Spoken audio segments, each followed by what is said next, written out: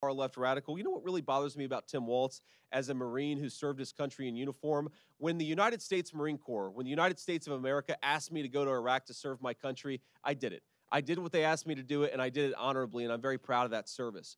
When Tim Walz was asked by his country to go to Iraq, you know what he did? He dropped out of the Army and allowed his unit to go without him, a fact that he's been criticized for aggressively by a lot of the people that he served with.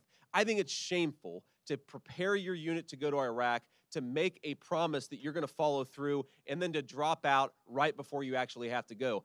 I also think it's dishonest. Something, again, if you guys ever get an opportunity to ask Tim Walz or Kamala Harris some questions, he made this interesting comment that the Kamala Harris campaign put out there, and I bet they're regretting they put it out there now, because he said that we, and he was making a point about gun control, he said we shouldn't allow weapons that I used in war to be on America's streets.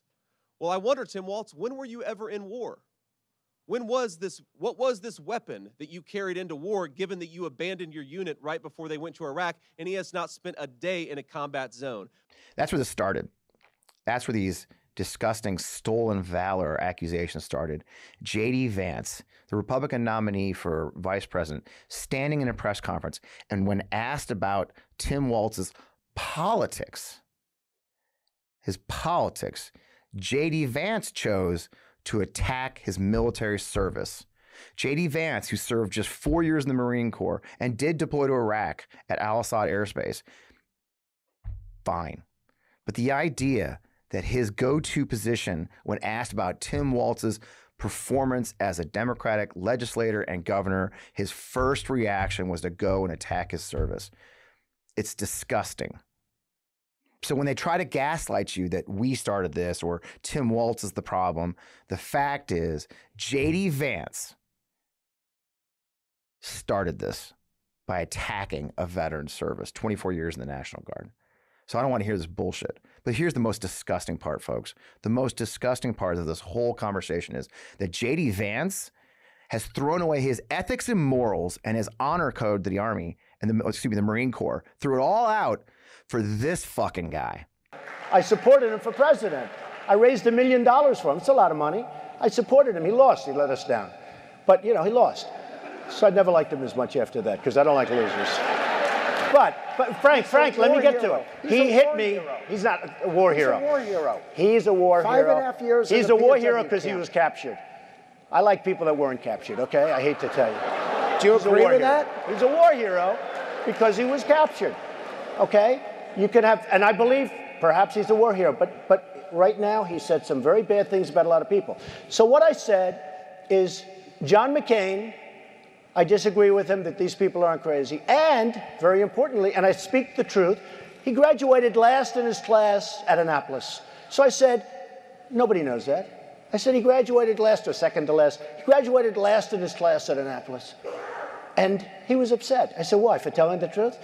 See, you're not supposed to say that somebody graduated last or second to last in their class because you're supposed to be, like Frank says, very nice.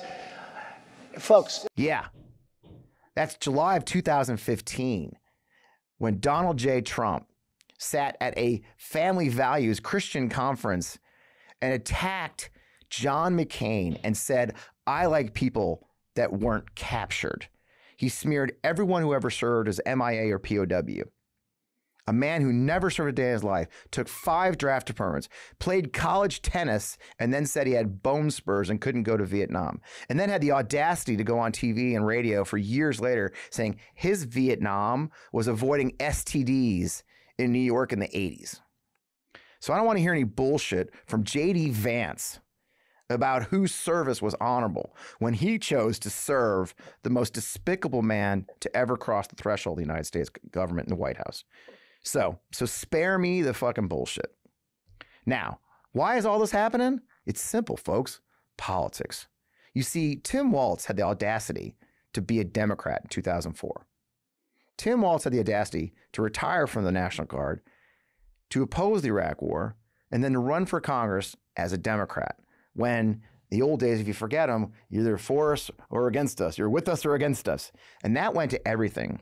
Now, how do I know this is really all about politics? Because the main accuser, who's been riding this train for about 16 years, a guy named Behrends, This is what he just recently posted to Facebook. Now look at this screenshot. We're going to blow it up the whole screen, the whole screen. Look at this screenshot of a Facebook post. Look at the disgusting, homophobic, disgusting things that a sergeant major who served the United States Army, who actually had soldiers that were likely gay, or certainly P, uh, POC. This is his attitude. So don't don't tell me that he's being Tim Walz is being attacked because of his because of his service or that the people attacking him because they have to protect the honor of their service, the oath to the Constitution. When they put up shit like this, that's homophobic and bigoted and disgusting. This is one reason they're doing this, folks. Politics. This is MAGA attacking a decent, decent man. So I thought, let's talk about that. And I got the perfect guest who knows more about Democratic veterans policy than almost anybody I know because he's been doing it for almost three decades. So let's get on with the show. You know me. I'm Fred Wellman. This is On Democracy FP1 right here on the MeidasTouch Network, the On Democracy Podcast YouTube channel, wherever you get your podcast. This is the place. Let's get on with the show.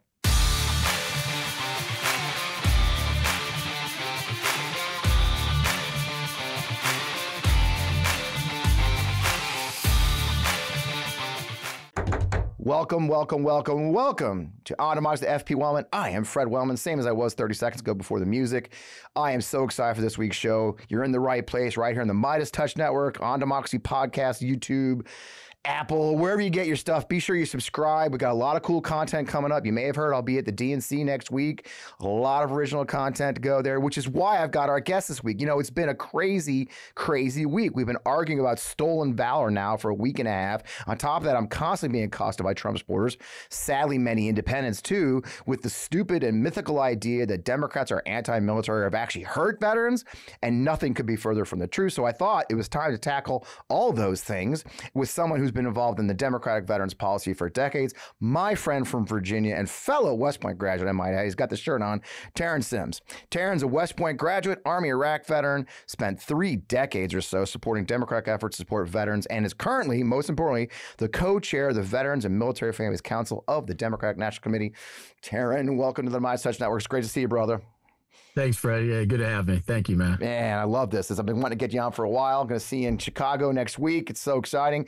You know, I open with a couple clip. I opened the clip of JD Vance teeing off on on, on Tim Walz's service uh, in a press yep. conference, and it wasn't just some off thing. He he had a plan to fucking attack him. It was disgusting. You know, now they're all playing victims like they didn't open. The, they opened this battle.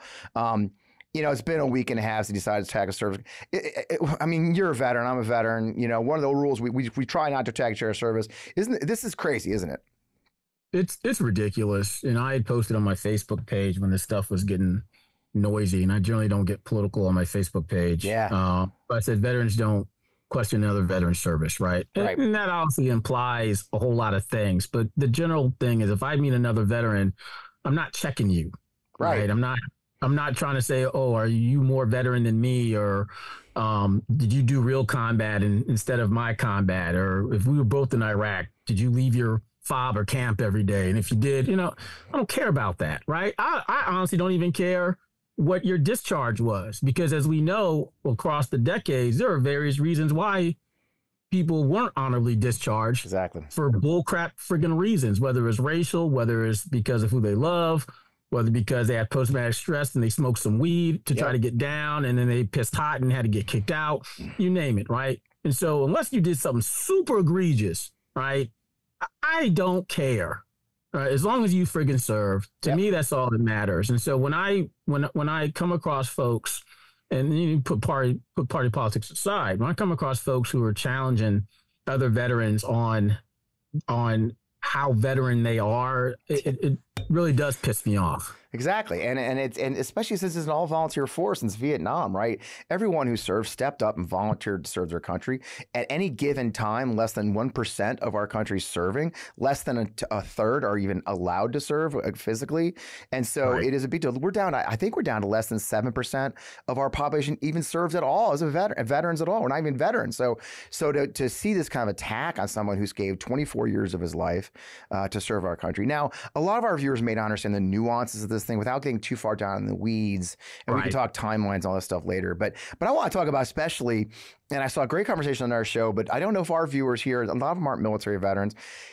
How big of a deal is a command sergeant major, right? I mean, you know, I mean, it's it's an important job, but by the same token, Legit. less than one percent of everyone who enlists in the army as a soldier, as a private, whatever, makes it all the way to the rank of command sergeant major. It's it's a it's a hell of an accomplishment for Tim Walz to ever have reached that point, isn't it?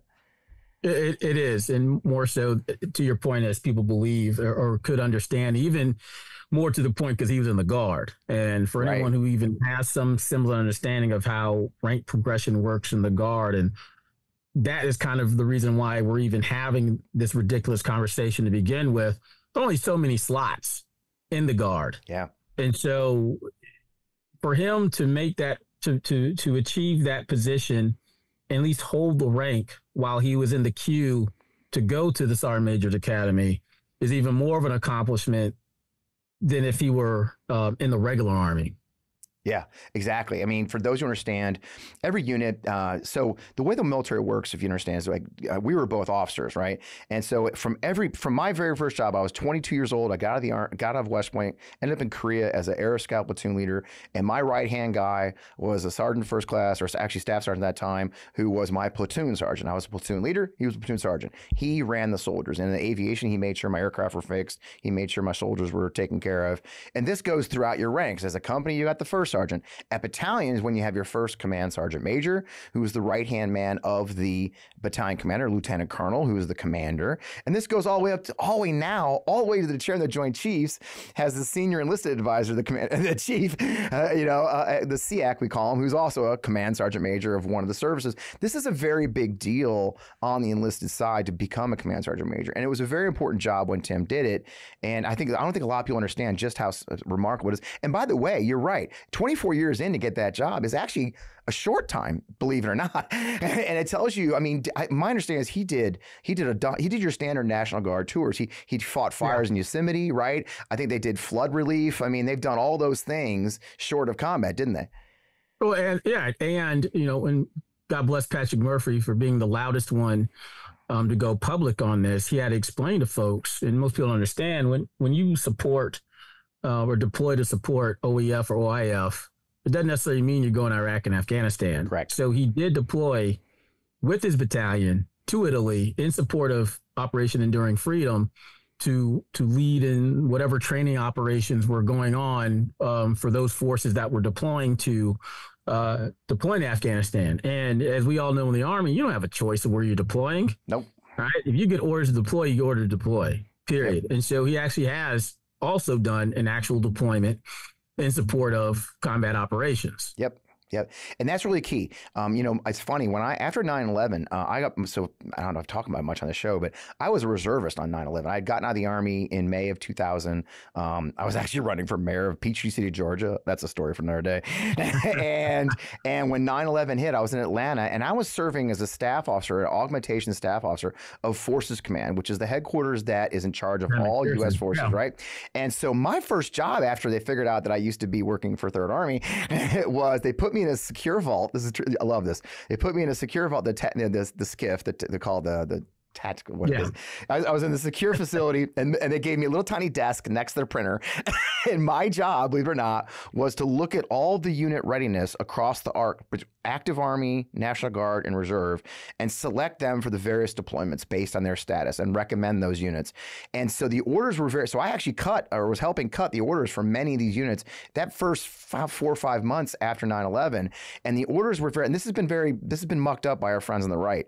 His orders, the orders we sent people out on, even people in the United States, like when we sent them to New York City to to support the operations after the fall of the Twin Towers, those orders said in support of Operation Enduring Freedom. You know, it Right. does so. So when he says I deployed in support of Operation Enduring Freedom, he's literally quoting the orders Quoting which the- they were he's deployed. the. Yeah, it was, Right. he's not. Everybody's like, oh, he's he's he's gaslighting. and He went to combat. No, that's literally No. what the order said. Right? They backfilled the 173rd Airborne in Vicenza, Italy, Italy, which what you said was training up. So they helped their training. They pulled security on the base because we Correct. did up our security security. I mean, the red cycle stuff that 173rd couldn't do. That's what they ended up having to do. Exactly, right. exactly. And and so I get really angry. People say, "Oh, well, he's he's gaslighting about actually deploying." No, they did. Their order said operation. So he did deployment. And by the way, his daughter, which he just had late, because of IVF. They couldn't have children. Hope, we, we all know her now because they had there's wonderful videos of the two of them. Hope was just two years old when he deployed. You know, he right. left he left for I think six months to a year. That's hard. No matter where you go, being away from family, especially as a guardsman, is hard, right? And so eh, I think people forget that. I've always gotten mad about that. The other part of that, the other, of course, the next one piece we talk about a lot is is this timeline of his retirement, right? You know, and and it, it, people think you just retire quickly, don't you? Well, it's it's ridiculous, and I had to put a 99 grad in this place. And he, he hasn't responded because the response I gave to him was just classic. But um, as my brother and I were joking, my brother's 04 grad, as we were joking a couple days ago, and he called me, as you and I know, Fred, anyone listening here who has been in the military, you cannot backdoor retirement. No. Like you cannot trick the army into retiring. No. And even if you like were to retire with orders coming, the army can bring you back. Yep. Right. So there isn't like this conspiracy of, oh, we're deploying. So let me drop my paperwork before the army can get me. No, it doesn't work that way. Mm-hmm. Just like though I'm going to go in right field, you'll understand this. If you were, if, if for people who don't know, if you're getting retirement pay, you're still subject to UCMJ, right? So nothing Tim Walz did was illegal, unethical, definitely not immoral. Nope. It wasn't wrong. Him and probably three other three thousand other people dropped retirement paperwork yep. on the same day. And if the army did not want him to retire, they would have they would have revoked his retirement. Exactly. And you would have heard no complaining from him because he would have understood at that grade that he was in the needs of the army. I have a soldier who got stop loss twice. Yeah. Poor kid. Yep. Wow, God, that's terrible. Yes. Oh my God. Went home. He was still on his leave. Um, we got our Warno. They brought him back. Yep. After about a few weeks or a month, they said, you know what? You can go back home. But then we got our deployment orders.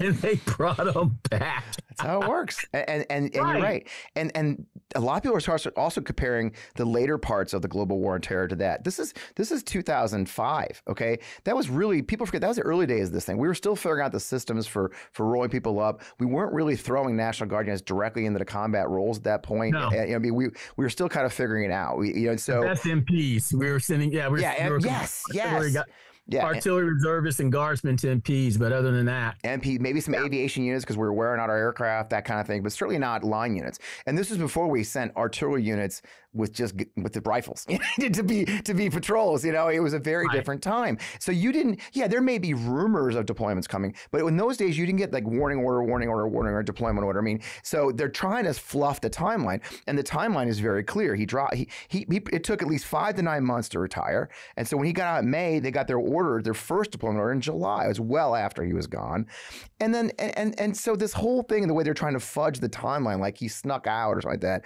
has been really infuriating me. I retired. Uh, I, I, I quit the army twice. A, you know I I, I, I, I, did just keep you know I, so I'm one of the guys like Tim Walz who I left the army before 9/11. Um, it took me gosh, it took me just to quit. I didn't retire. I just quit. It still took about uh, three months for me just to leave. Retirement took nine months for me, yeah. right? You know, it's a whole process at that point. And that was in 2010, so not long after. So, so you don't just drop your papers and just sneak away. That's not how it works. And another right. part that's bothering me, and you'll appreciate this too, is one of the things that's made me angry, and I'll, I'll talk about the politics second. The first part is that the big attacker here, I think his name's Behrends, he was the replacement sergeant major.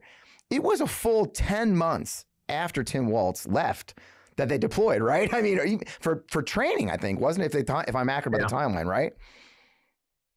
So it's oh. it's it, you and I. I don't know if you guys did it, and I bring this up a lot online. Is we had changes of command in Iraq, right? We did, you know, and never missed a mission. So the idea that Tim Walz retiring in 10 months before they even deployed somehow screwed the unit and they weren't ready to go because of that. No. I mean, you find that ridiculous, right? It's not even worth the conversation. That's what bothers me. I get it. I get regular people who who never served in any branch of the service not getting it. But anyone who served at least 3 years, if they have an issue with this, it's it's because they lean Right. They they they lean red in their politics, and they just want to see this for political reasons. Because to your point, once we got to late June of 2003, um, Yeah. one General. I forget who. Well, DOD decided to allow us to start ETS and PCSing and retiring Yep. in theater. Yep. So we were theater. getting replacement bodies and replacement mm-hmm. leadership, right? New Yep. platoon leaders, new troop commanders, new squadron. But I got a new regimental commander Yep. In Iraq. Yep. Right. Colonel Wolf, now retired General Wolf, replaced, um, stepped, you know, moved on, and Colonel May, now retired General May, replaced him as the commander of the regiment. Yep. That's that's what the deal was. And so for anyone in the present to say that someone's abandoning the unit because the unit is getting ready to deploy, um they're speaking they're speaking with the with their political tongue because Exactly. they know how the system works. Exactly. I mean, it's one thing I talk about a lot. We are trained from the when we were cadets at West Point. You and I were cadets. We were trained from the very beginning. And everyone's replaceable. The whole system we developed since the freaking Revolutionary War was if like, somebody gets shot, somebody steps into the gate. Right. That's the whole point. The, the whole thing would collapse if it came down to just one person. Right. I mean, Yep. that's just how it works. I mean, Jesus, it's in, it's in Hamilton.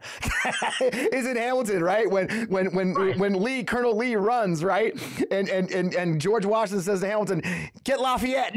I mean, they put it in a fucking musical. you know, that's Right. that's the system. We trained, we changed battalion commanders, who's the colonel, which which is the the head guy next to sergeant major.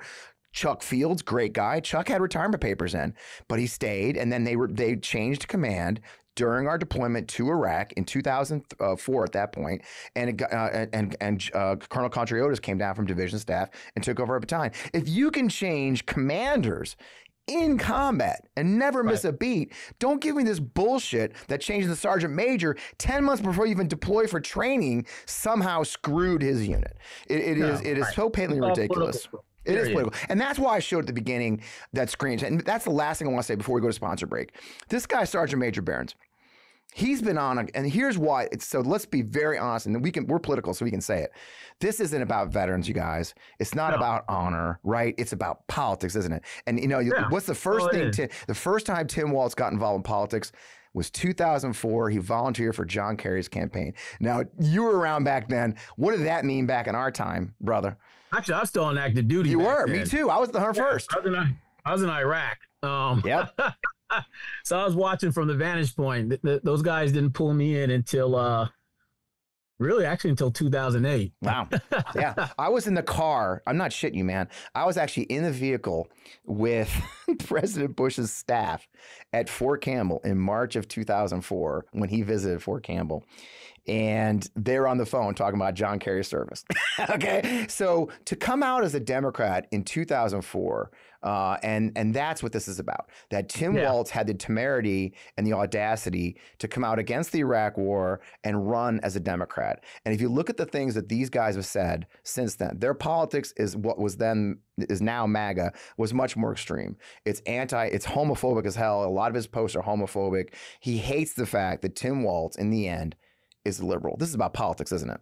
Oh, politics. Yeah. Because if it was about anything else, he he discuss he would discuss issues, um, and he he may even would discuss his leadership style, but he can't even touch that. Nope. No, you can't touch it. So, I, so I, I, you know, so for a lot of us who are who are frustrated with this, and a lot of you viewers who watch the show and don't understand the nuances of military, let's not get down to the military. Let's be very direct. This is a political hit job on a honorable service member, honorable veteran who had the temerity and the audacity to be a Democrat in the early days of the Iraq War. That's where this Right. comes from. So that's a great place to take a break. We got a lot more to talk about. So let's talk. From, let's talk to our sponsor. We got great Rhone and ZBiotics are joining us again. We're so happy. Let's come. Let's get our sponsors to come right back. If you're like me, you understand the pain of finding out what to wear each day. I mean, most clothes I have are uncomfortable, never actually the size I really am, and not to mention how much time is wasted trying to find a good outfit. And when you do have a good fit, you can only wear it for a few hours. We have to change for an important meeting or dinner, find a new outfit. Now, everyone wants to dress well at all times because, simply put, it's a confidence booster, even for men like me. Men's closets were due for a radical overhaul and reinvention, and Rhone stepped up to the challenge. Rhone's commuter collection is the most comfortable, breathable, and flexible set of products known to man, and here's why. Rhone helps you get ready for any occasion with the commuter collection, which offers the world's most comfortable pants, dress shirts, quarter zips, and polos. You've never have to worry about what to wear when you have the Rhone Commuter Collection. With Gold Fusion anti-odor technology, you'll be smelling fresh and clean all day long. And on top of that, Rhone is 100% machine washable, so you can just ditch it all in the dry cleaner or ditch the dry cleaner completely, put it all in your own washing machine yourself. You know, I'm obsessed with the Rhone Commuter Collection. We're on the move a lot, whether it's I'm catching a flight or I'm going to a meeting or whatever. The Rhone Commuter Collection has never let me down so far. The Commuter Collection get you through any workday and straight into whatever comes next. So here's what I want you to do. I want you to head to rhone.com slash Fred. Use promo code Fred to save 20% off your entire order. That's 20% off your entire order when you head to R-H-O-N-E dot com slash Fred and use code Fred. It's time for you to find your corner office of comfort. Check out our sponsor, Rhone. I hope you'll buy some outfits today. Hey, let's face it. After a night out with drinks, I do not bounce back the way I used to when I was in my 20s as a young officer in the United States Army, full of strength, where we drink all night, and then go working out the next morning. And lately, it's been not as easy since I'm a grandpa now. That is until I found ZBiotics pre alcohol. Now, pre alcohol is the world's first genetically engineered probiotic. It was invented by a PhD scientist to tackle rough mornings after drinking. And here's how it works when you drink, alcohol gets converted to a toxic byproduct in the gut. It's this byproduct, not dehydration, that's to blame for your rough next day. Now, pre alcohol produces an enzyme to break this byproduct down. Just remember to take make your ZBiotics your first drink of the night, then drink responsibly, and you'll feel your best tomorrow. Look, I won't lie. Uh, I don't like hit the clubs anymore. I'm not that guy. But what I do is I take my partner and we go to outdoor concerts here in our town. We will sit down in the heat of the sun in the summer. We'll drink wine. We'll drink beer and it kind of sneaks up on you. And the next thing you know, you're feeling a little bit under the weather. So I decided to give ZBiotics pre alcohol a shot. And man, what a difference. Believe me, it is the real deal. So for vacations, weddings, birthdays, reunions, there's so much going on. Get the most out of your summer plans by stocking up on pre alcohol now. So it's easy. Go to zbiotics.com slash Fred to get 15% off your first order when you use Fred at your checkout. Pre alcohol is back with 100% money back guarantee. So if you're unsatisfied for, for any reason, they'll refund your money, no questions asked. So see, I'm going to go back to it again, just make sure it's clear. Remember to head to zbiotics.com slash Fred. Use the code FRED, F R E D, at checkout for 15% off. Thank you, as always, ZBiotics, for sponsoring this episode and for the good times you help me continue to have. All right, we're back. Uh, you know, we've talked a lot about this situation, Tim Walz, but let's let's that's enough of that. I don't want to give any more damn energy to this ridiculous attack on a good, good man. No. What's more important for me, and really, really, the big reason I want to talk to you, brother, was you know you're currently the co-chair of, of the DNC's Veteran and Military Family Council, but you've been involved in Democratic politics on the veterans policy side. You go back to Hillary Clinton. I think you know you've been doing this for a oh, while. Right. You know, I, I, get so frustrated because I constantly get attacked on ours on online about how the Democrats don't help, you know, don't like like veterans. They haven't helped the military, you know. But the truth of the matter is far from that. You've been doing this for a long time. Tell us about the history of, of being involved in, in the Democrats truly trying to address veterans issues in the military. So I could say this so many ways. The, the best scotch and cigars, but um, we don't have those. But yes. Jim Moran said it best. Um, I forget how long ago this was. Let's just say 15 years ago. Um, at some Arlington County Democratic Committee meeting, and he said, if you want to know how much your elected leaders care about the issues you care about, see how they vote on appropriations yeah. towards those issues, right? Um, and so when I was a surrogate for Barack back in 08, there were times when I would just pull out John McCain's voting record on VA appropriations. Yeah. And every time I'd say legislation this, the title, he would vote no. Hmm. Listed no, no, no. And people would look at me like I was crazy. And I say, this is the contrast to, you know, the people who are supporting Barack Obama. They're voting yes every time. They right. they may not be the loudest cheerleaders. You know, they may not be giving us the the hugs and kisses that we wish we were getting. Humping the flag. you, know, you know, they may not be giving us candy instead of um, vegetables, but when it comes to appropriating, uh, vote uh, both writing the legislation sponsoring the legislation, passing the legislation, right? President signing the legislation and then properly appropriating the legislation, it's Democrats. Yeah. It, it, it has been, well, actually, it always has been. I mean, that, that's probably one characteristic that's maintained since LBJ sacrificed the Democratic Party to get the Voting Rights Civil Rights Act yeah. uh, passed is that at least Democrats maintain their their legislative appropriation support of of, of of of the issues that support us as veterans and military family members, whereas Republicans don't. And was, I mean, you know, probably better than I. Um, because it's your well, I guess it's both our jobs to yeah, know. But it is. Trump's goal is to gut the VA, like literally.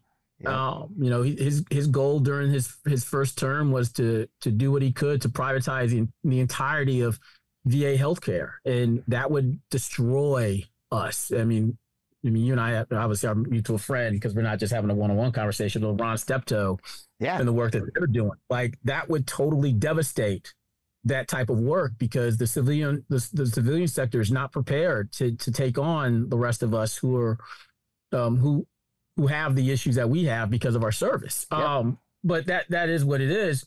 Um, and so it's it, it's really dis- disparaging that folks can't um, create that correlation or see the correlation between our military service and being a Democrat. Yeah. And they think that that if we wore the uniform and we're a Democrat, then we're some type of weird unicorn, but yep. an ugly weird unicorn. And they expect us to be a Republican, but then when Republicans meet us, they're like, What's wrong with you? Yep. But those the ones who are saying it don't understand that legislative appropriation piece because they're so accustomed to getting the hugs and the kisses, but not peeling back a, the layer of the onion and saying, "Oh, these Republicans who I'm supporting aren't supporting me." Right. You know, I saw it. You know, I was a Republican voter. I was never a political operative, but I was a Republican, and I grew up here in Missouri. That's how it was. And uh, I'll be honest. I tell the story very honestly. When, when I know when when uh, Mrs. Obama and Dr. Biden launched joining forces, uh, for those who aren't familiar, when Barack Obama took office, um, the first lady and the second lady joined together to create a thing called joining forces. Not about two, three years into their term, and or two years, and it was a it was designed to help veterans and military families and military members in their transitions, jobs, just to highlight the thing. And I'll be very honest, I was incredibly skeptical. I thought it was a trick, and then and then I stumbled into help working with them. I, I my I had a company at the time that did veterans advocacy, and we ended up working with them. I ended up helping them. I, I, I was actually one of the last acts of joining forces under Mrs. Obama was they had a homeless veterans convening right in the White House, and they brought mm-hmm. corporate, they brought Home Depot, they brought the National Coalition for Homeless Veterans. Both of those were clients at my time, and they cared, and they actually physically reduced the number of unemployed. The unemployment rate for veterans at the start of the Obama administration was unbelievable. It was as high as 13 percent for some categories of veterans at that point in 2008, and by the time right. they left office, it was three points on average uh, uh, uh, like three points below the national average of unemployment. That took hard work and that took leadership by the Democratic administration, by the Democrats, on top of the GI Bill, on top of things. And now let's talk about just the last three years. The Biden administration, the Harris administration have done a lot. The PACT Act, which is now two years old, right, brother? I mean, tell people about what the PACT Act is and why it's so important that it got passed by well, Democrats. I mean, the PACT Act is so important, and you you can appreciate this, Fred, because you know these guys were your instructors when you were at school. Yeah. Um, you know, this this this uh this fight began with you know Vietnam vets, right? Mm-hmm. Because of Agent Orange, and you know, good good guys like Steve Robinson, who unfortunately passed away too long, you know, too early. Great guy.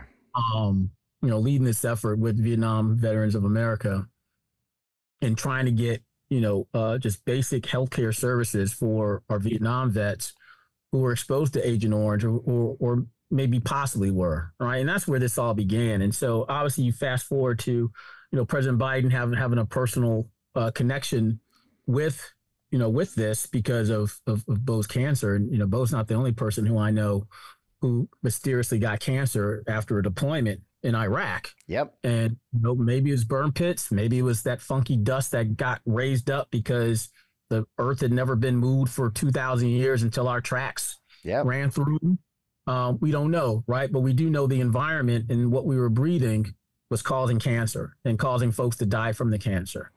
And because of that work that the Vietnam vets had laid, and because of those of us who served in Iraq, Afghanistan, uh, and East Africa, and all points in between and outside, and recognizing the importance of taking care of us. Yep. Right. I mean, that was, I mean, this was one of the mantras that we stated during President Obama's campaign was the continued service piece. Right.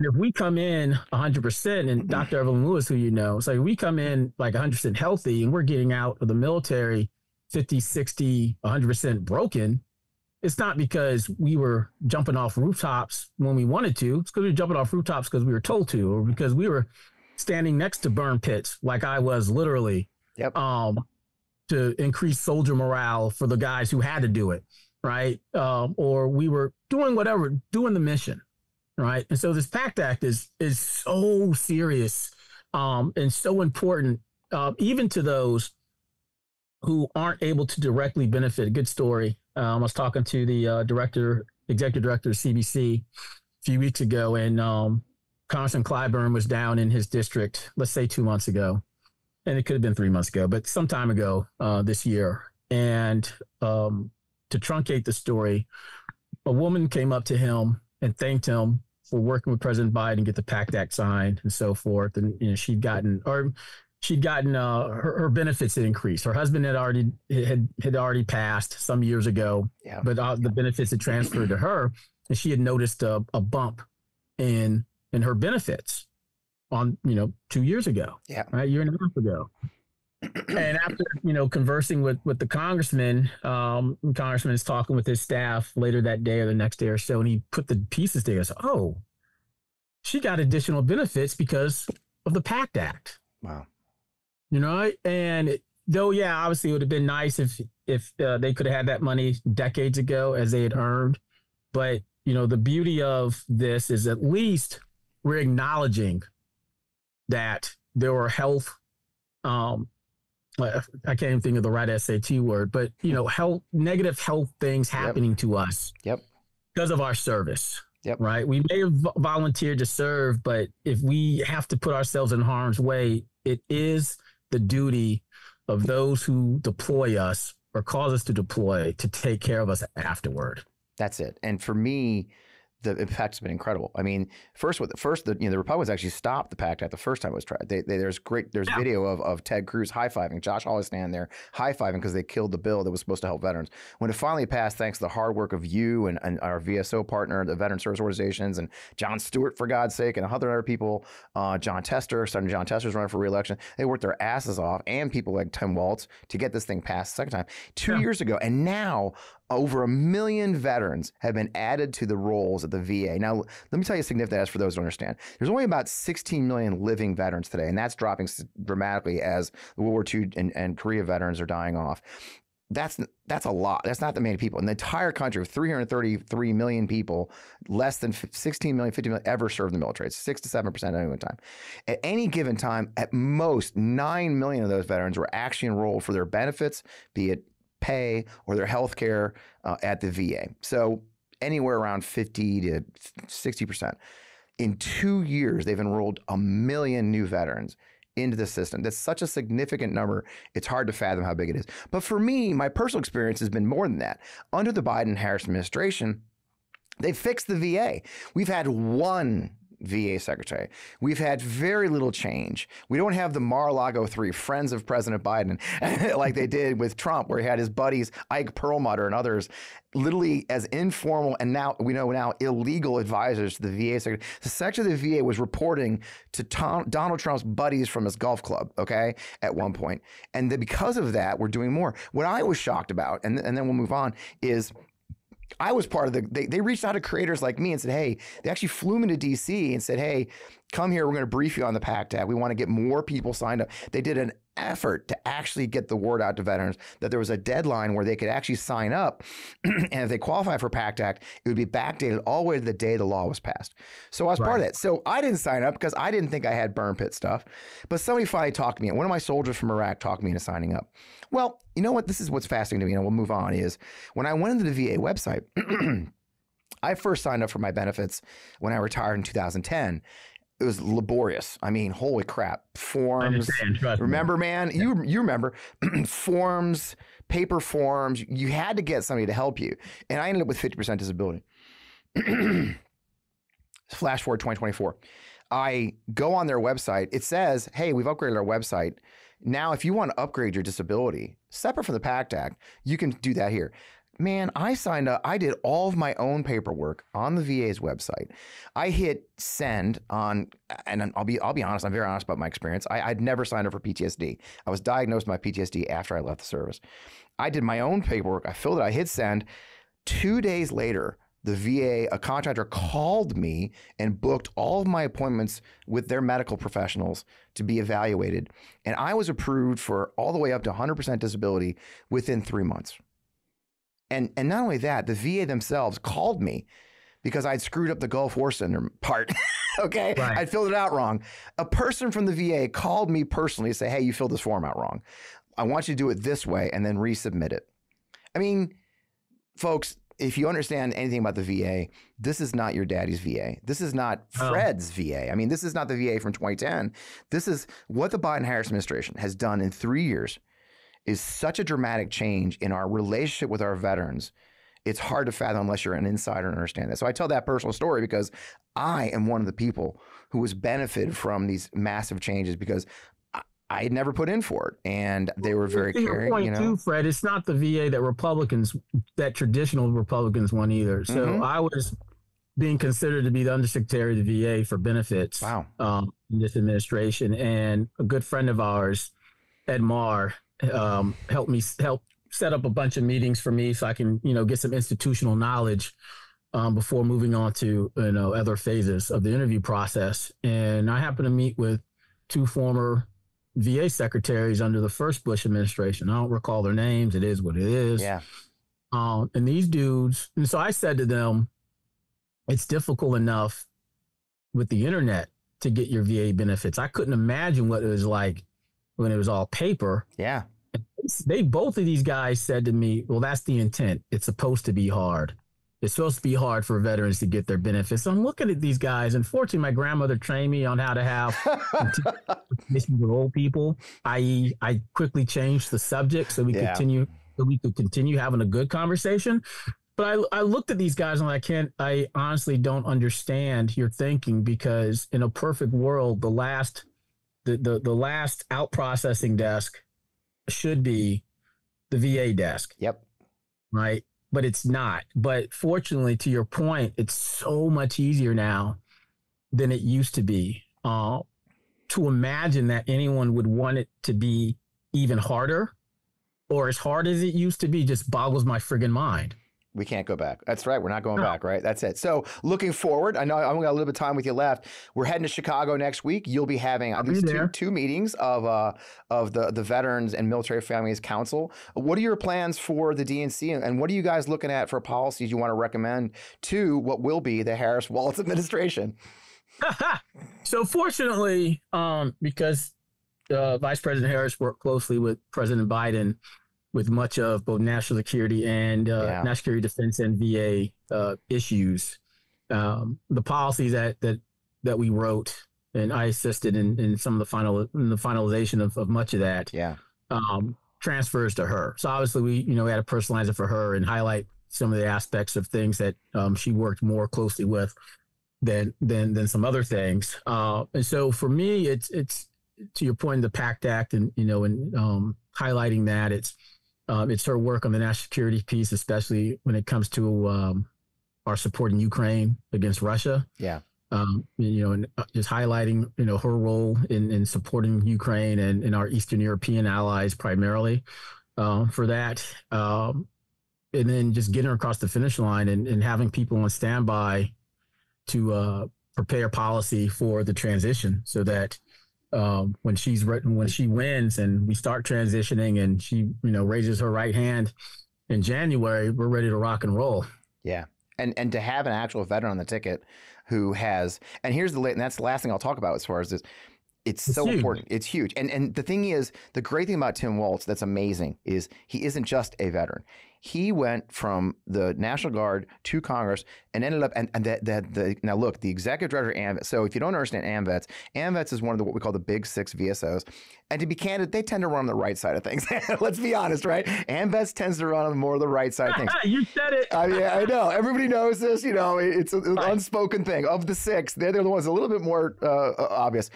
The executive director of AMVETS put out a statement saying that in his 25 years, Tim Walz was one of the most powerful veterans advocates we've ever had in Congress. Right? For a fact. Eh, For a fact, and, and he still is. He still is. and- Hyperbole. right. It's not even. It, and I remember when I ran my company, ScoutComms. He was still in Congress. That's a fact. He he was. He worked really hard. He cared. He went on. This is the thing we don't talk. The funny thing about this whole thing about him never going to Iraq is he did. As a congressman, he, he went on fact finding trips to Afghanistan and Iraq. He looked at how we evacuated our soldiers. He was very concerned about the medical process of somebody coming out of the, the war zone and getting them to Walter Reed, et cetera. So, so to have a guy who's actually been in the muck with us, uh, both physically uh, and as a soldier, but even more so as a congressman who drove a lot of this legislation, I think it's gonna be a very powerful tool for you, isn't it? Oh, it's, it's huge. I mean, going, you know, you going back to his, his time in Congress. I mean, one of my close buddies from high school and West Point was his chief of staff. Oh, okay. Well, there you have it. Um, and then, you know, you kind of hit on it too earlier in the conversation. People don't understand like the mentality of a senior of, of an NCO, Yeah. right? Like the fact that she chose a senior NCO to be her VP is so friggin' perfect. I, I don't even think she truly understands the strength of what she got and and picking a, a retired sen- senior NCO Yeah. because I don't know about you, but my army time was it was all about my NCOs. Like they had my back in ways that again, scotch and cigars. Um, like those were my dudes. Um, and so for her to have someone supporting her as her right hand who understands what that type of leadership is supposed to look like Yep. And how it's supposed to act, it's it's friggin' phenomenal. And, it, and it, it this could be a extremely great next four years, um, with with that team together. Oh, it's so true. And that was, I'm so glad you brought that up because that's a great place to end the conversation is that was my first thought. See, here's the thing.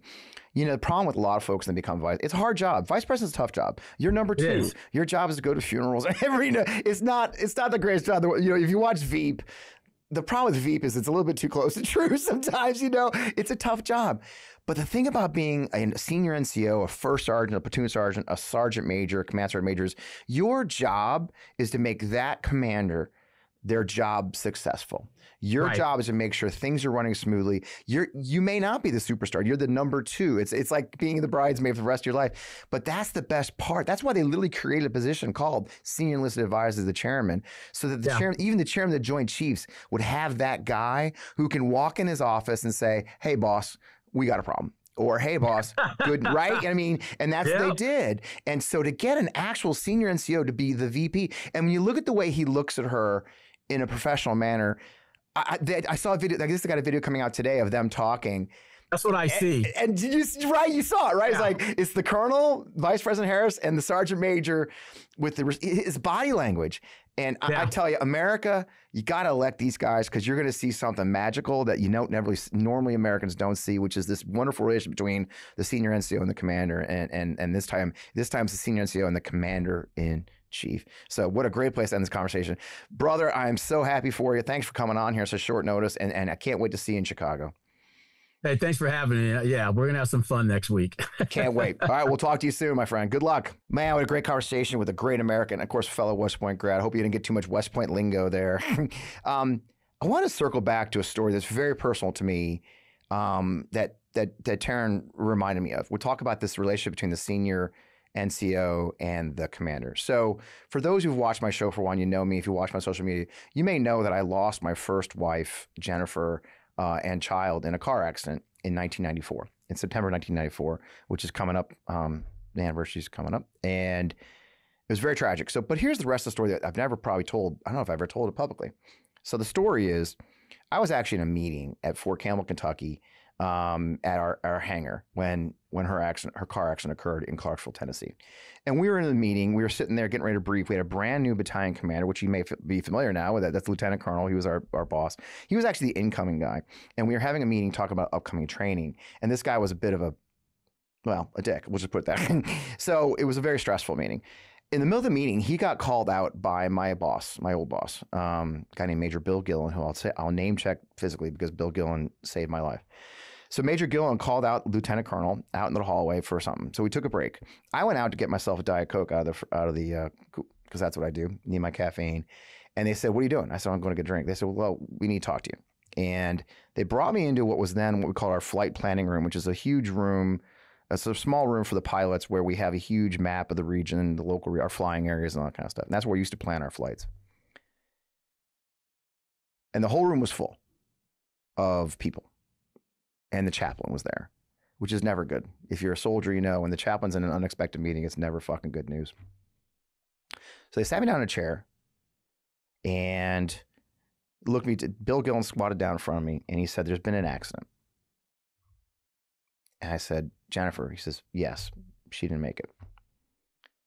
And I said, The baby. He said, No, baby didn't make it either.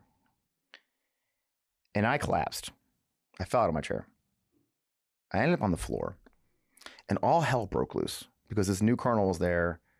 He started yelling, Has this been confirmed? What are we doing here? You know, it, chaos. I mean, honest, I just remember chaos. People were talking over me. and run, the funny part is, I was a company commander at the time. I had a, a, what was called a headquarters company. I had 120 soldiers in the 101st Airborne Division. And I had a first sergeant, senior NCO, like Tim Walz. Somehow, I ended up sitting on the floor with my back against the wall as these people, these soldiers, fellow soldiers, argued over my situation. My first sergeant sat down next to me and he said, What are you doing? And I was in shock, as you know. If you ever talk to someone who's in shock, you kind of get woozy. And my first sergeant, who was a big, big black man, big hulking figure. That was the best part because I could use him because he was so big, much bigger than me. First sergeant stands up and says, Everybody shut the fuck up. This captain needs help right now. We're leaving. And he physically picked me up by the shoulders and duck marched me out of the room to a car and whizzed me out of there. That's what a senior NCO does. So that day of chaos, when all hell was breaking loose, when I needed help, my first sergeant, know, my, my senior NCO, like Tim Walz, was the guy who cut through the fucking bullshit and took care of me as the commander and ensured that my morale, my health and safety was his number one priority. That's the gift we're getting when Tim Walz becomes vice president of the United States. We're getting someone who has spent 24 years of life understanding soldiers' needs, understand the needs of his boss, the commander in chief in this case, and will put their welfare ahead of his own to ensure they're taken care of. That's the gift of the possibility of having the first guy who ever served as a command sergeant major in the United States Army to be the number two guy, the literally vi- the command sergeant major of the country. And I tell you that very, very personal story that actually causes me to choke up when I tell it because you need to understand the gift of having someone with that experience on our ticket, on the Democratic ticket. So when you see people like J.D. Vance, Donald Trump, the scumbag who had five draft deferments and fake bone spurs, who never served a day, has spit on our service, called us suckers and losers, says he doesn't understand why anyone would do it.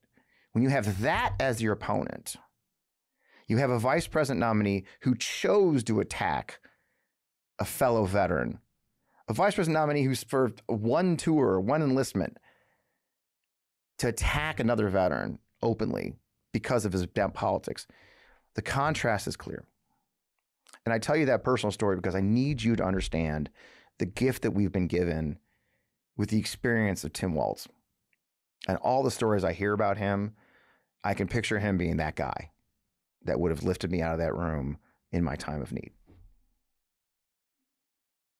To have that person in the room with Kamala Harris as she's thrust into the nomination for the Democratic presidential nomination, as she raises her right hand on January 20th of, the, of next year to become the commander in chief of the United States in a whirlwind transition, to know there's going to be somebody standing there also by her side who's been that guy gives me such peace of mind about this ticket. It's unfa- unfathomable.